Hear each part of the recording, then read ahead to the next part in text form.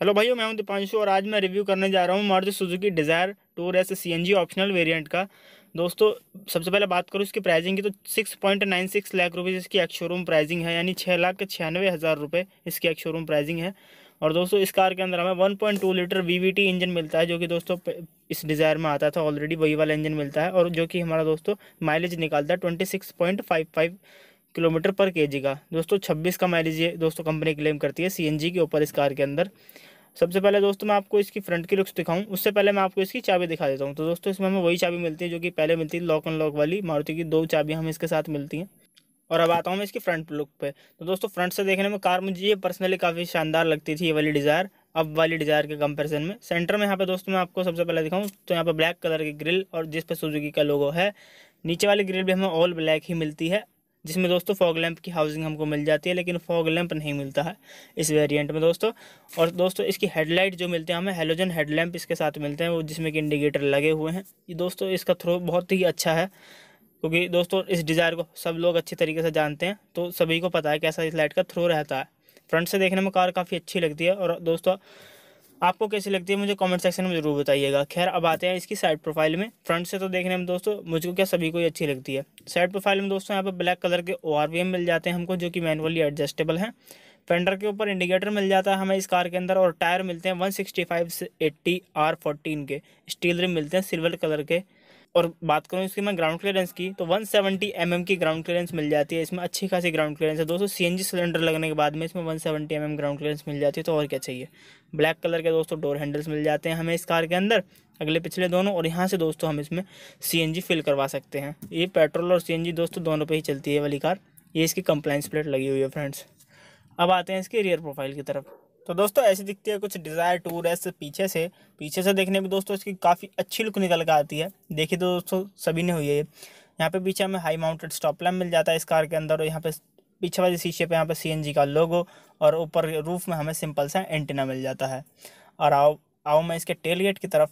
तो दोस्तों, यहाँ पे हमें क्रोम स्ट्रिप मिलती है डिज़ायर के अंदर, जो कि अच्छी लग रही है। और सुजुकी का लोगो मिल जाता है क्रोम के अंदर। यहाँ पे टूर की बैजिंग मिल जाती है हमें इसकी डिग्गी पे।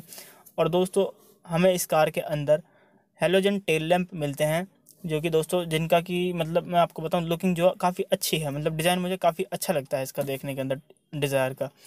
इस कार के दोस्तों बम्पर में हमें दो रिवर्स पार्किंग सेंसर्स मिल जाते हैं। अब मैं आपको इसका बूट ओपन करके दिखा देता हूँ तो दोस्तों हमें चाबी लगा के इसका बूट ओपन करना पड़ता है और अंदर हमें लीवर मिल जाता है।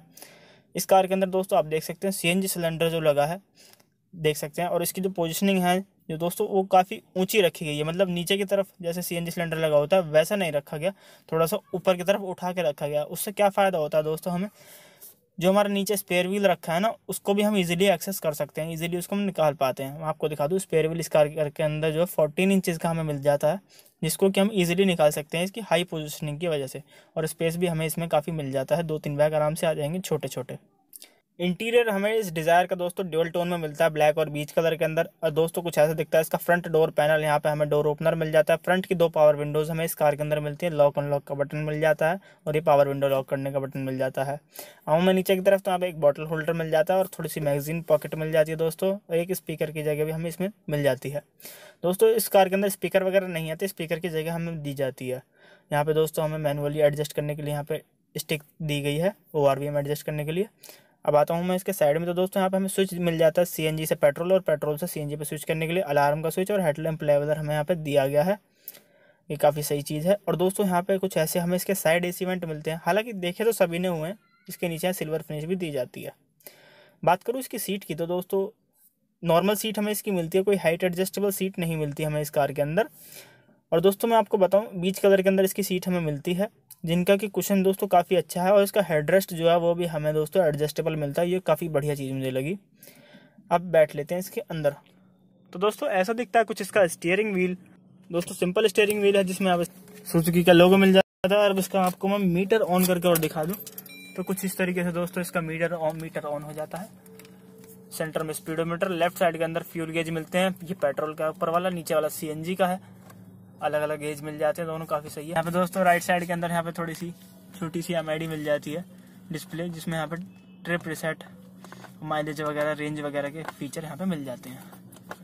काफ़ी सही लगता है ये मीटर भी देखने के लिए। सिंपल सा नहीं लगता मतलब काफ़ी भरा भरा सा है ना तो सही लगता है। फ़िलहाल के अंदर कार पेट्रोल पे स्विच है तो इसलिए सीएनजी वाला जो है ब्लिंक कर रहा है। जब हम सीएनजी पे कर देंगे तो सीएनजी वाला एकदम स्टेबल हो जाएगा। यहाँ पे राइट साइड में यहाँ पे हेडलैम्प के स्विच लेफ़्ट साइड के अंदर वाइपर के स्विच इस डिज़ायर को तो खैर सब लोग जानते ही हैं। कुछ ऐसे ऐसे इवेंट मिलते थे हमें इसके मतलब मिलते हैं इस कार के अंदर। यहाँ पे कोई स्टीरियो वगैरह हमें इस कार के अंदर नहीं मिलता। और दोस्तों, यहाँ पे हमें मैनुअल एसी मिलता है। ट्वेल्व वोल्ट का पावर सॉकेट मिल जाता है। नीचे यहाँ पे थोड़ा सा स्पेस मिल जाता है, कुछ थोड़ा बहुत सामान रखने के लिए। यहाँ पे एक बॉटल होल्डर टाइप में मिल जाता है। एक हम यहाँ पे रख सकते हैं। फाइव स्पीड मैनुअल ट्रांसमिशन के साथ ये कार आती है। और दोस्तों, कुछ ऐसा इसका हैंड ब्रेक मिलता है हमको। ऑल कलर का दोस्तों यहाँ पे यूज़ किया गया काफ़ी जगह। बात करूँ ग्लोब बॉक्स की तो काफ़ी ठीक ठाक साइज़ का ग्लोब बॉक्स हमें इस कार के अंदर मिल जाता। है सफिशेंट है। सिल्वर फिनिश का यूज़ किया गया जगह जगह जिसकी और सुंदर बना रहा है इसके डैशबोर्ड को। और दोस्तों आई कुछ ऐसा मिलता है, इसका सिंपल ही, कोई एडजस्टेबल नहीं है मतलब डे नाइट वाला। टिकट होल्डर मिलता है ड्राइवर साइड और को पैसेंजर साइड यहाँ पे दोस्तों कुछ भी नहीं मिलता मतलब कोई वैनिटी मिरर नहीं मिलता। फोल्डेबल ग्रैब हैंडल्स मिलते हैं। हमें इस कार के अंदर और सेंटर में यहाँ पे रीडिंग लैम्प मिल जाता है। हेलोजन वाला ही। तो दोस्तों, काफ़ी सही लगी मुझे देखने के अंदर। सीएनजी के साथ है दोस्तों, मारुति का इंजन है। अब चलते हैं इसके पीछे और पीछे का स्पेस और देख लेते हैं।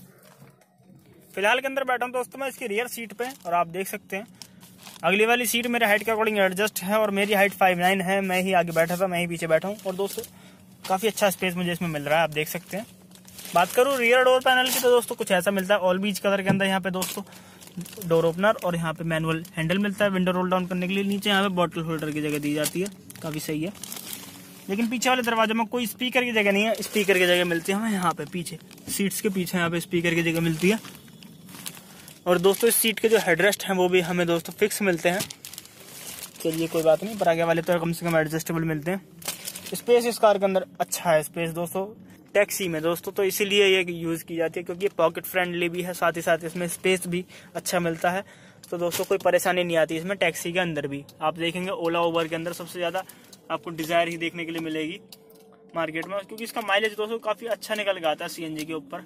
इसलिए लोग सबसे ज़्यादा इसको प्रेफर करते हैं और स्पेस भी इसमें काफ़ी अच्छा है। तो दोस्तों छः लाख छियानवे हज़ार के प्राइस पॉइंट पर तो दोस्तों काफ़ी अच्छी कार बन जाती है। कंपनी फिटेड सीएनजी हमें इस कार के अंदर मिल जाती है। साथ ही साथ स्पेस भी काफ़ी अच्छा मिल जाता है। तो दोस्तों, काफ़ी सही रहेगी बाय करने के लिए। प्राइवेट व्हीकल के तौर पर भी आप इसको बाय कर सकते हैं। कोई दिक्कत नहीं है। कोई ऐसी लिमिटेशन नहीं है। दोस्तों, पर इसकी जो लिमिट आती है, वो एट्टी किलोमीटर पर आवर की दोस्तों स्पीड सेट आती है। उससे ऊपर ये नहीं जाएगी कार। मैं आपको पहले बता दूँ। इस कार के अंदर दो एयरबैग आते हैं। को पैसेंजर साइड और ड्राइवर साइड और A B S E B D anti theft device जैसे फीचर्स हमें सेफ्टी के तौर पर मिलते हैं इस कार के अंदर। और दोस्तों, आज मैं आया था रिजेंट ऑटो लिंक गाजियाबाद के अंदर। दोस्तों, मारुति की डीलरशिप है। इनकी सारी कॉन्टैक्ट डिटेल्स डिस्क्रिप्शन के अंदर हैं। आपको वीडियो अच्छी लगी तो लाइक करिएगा चैनल को सब्सक्राइब करिएगा। वीडियो देखने के लिए धन्यवाद। Thank you so much